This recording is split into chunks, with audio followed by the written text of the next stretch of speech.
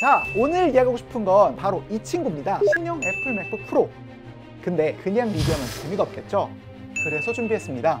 저희가 원래 쓰던 장비들이랑 이 친구를 비교해 보려고 해요. 방송국 장비 대 애플 모바일 디바이스. 과연 승자는 누가 될까요?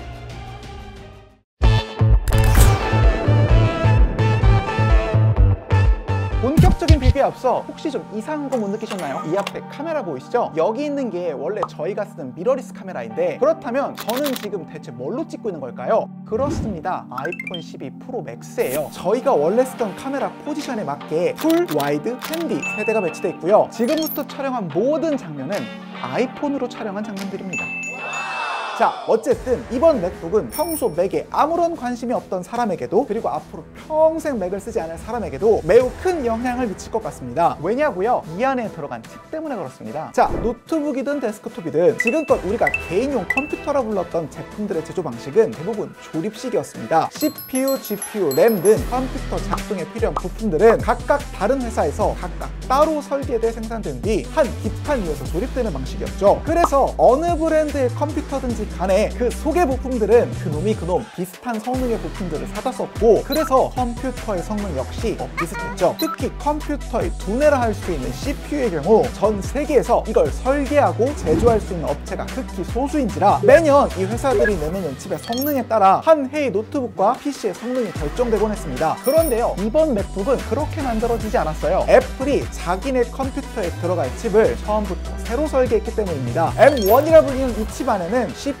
GPU, 램을 비롯해 핵심 부품들이 모두 내장되어 있습니다. 단 하나의 칩에 컴퓨터를 구동하는 데 필요한 모든 파트들이 다 들어있는 형태죠. 이를 어려운 말로 SoC, 즉 단일 칩 시스템이라 하는데 사실 우리 주변에는 이렇게 SoC로 구성된 제품군이 하나 더 있습니다. 지금의 저를 찍고 있는 바로 이거 휴대폰입니다. 현대의 스마트폰들은 거의 대부분 SoC 방식을 사용합니다. 여러 개의 칩을 보드에 조립해야 하는 일반적인 PC와 달리 칩이 차지하는 크기가 훨씬 작아 더 효율적인 형태로 스마트폰을 설계할 수 있기 때문입니다. 그럼 애플은 왜 휴대폰에나 쓰이는 SoC를 적용해 맥에 들어갈 칩을 만들어냈냐고요? 이 맥북에 들어간 M1 칩이 사실 휴대폰 등 모바일 디바이스에 주로 쓰이던 칩과 같은 종류거든요. 원래 PC나 노트북은 복잡하고 무거운 프로그램을 잔뜩 돌릴 수 있도록 성능이 높고 전기도 많이 먹는 칩을 썼던 반면 휴대폰이나 태블릿은 성능이 약간 떨어지는 대신 전력 소모가 적은 칩을 장착해 왔습니다. 그런데요, 세월이 지나는 동안 재미있는 현상이 발생했 습니다. 휴대폰이나 태블릿에 들어가는 칩의 성능은 해가 갈수록 비약적으로 발전하는 동안 PC에 들어가는 칩의 경우 기술 발전이 상대적으로 정체된 겁니다. 물론 아직까지 절대적인 성능은 PC에 들어가는 칩셋이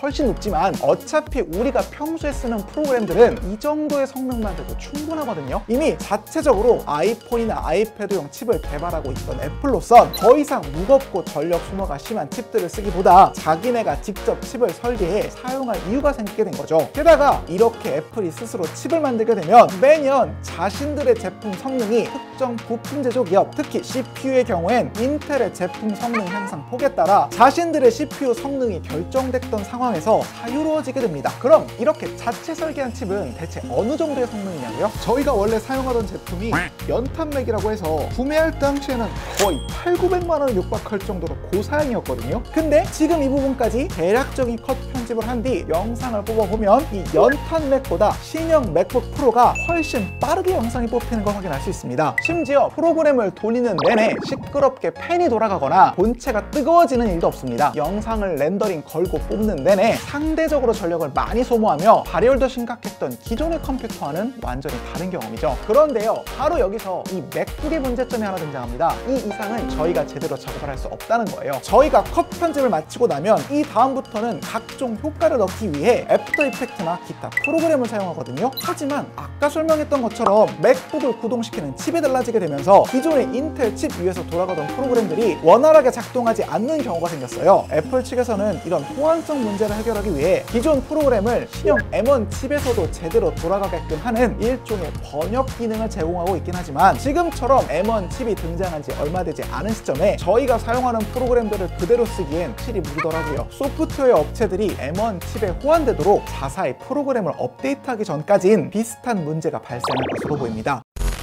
신형 맥북 프로와 이걸 찍은 아이폰 12 프로 맥스 어떻게 보셨나요? 사실 저희가 놀랐던 건 이렇게 영상을 찍고 편집하는 과정에서 스마트폰과 맥북 이상의 장비들이 거의 필요하지 않았다는 거예요. 저희가 가지고 있는 미러리스 카메라와 렌즈만 해도 2, 300만 원은 족히 넘고 편집용 장비의 경우 1000만 원은 우습게 깨지는데 이 조합의 경우 그보다 상대적으로 저렴한 가격에 저희로서도 원하는 작업이 가능해졌거든요. 훨씬 더 빨리 말이죠. M1 칩을 자체적으로 설계해낸 애플은 모바일 디바이스를 넘어 이제는 PC 까지 컴퓨팅에 필요한 하드웨어와 운영체계 모두를 자신들의 뜻대로 컨트롤할 수 있는 지구상 유일의 기업이 됐습니다. 컴퓨터에 필요한 부품과 소프트웨어를 각각의 회사에서 따로따로 구매해 조립하던 기존의 PC 산업과는 완전히 다른 길을 걷게 된 거죠. 내년부터는 M1 맥북과 비슷한 형태의 ARM 칩셋을 활용한 윈도우용 노트북이 역시 대거 다시 등장한다고 하니 이번 맥북은 오래도록 변하지 않던 PC 산업에 대격변을 가져온 물건임에는 틀림없는 것 같네요. 끝.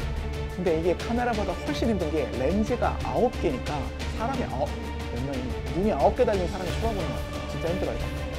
어쨌든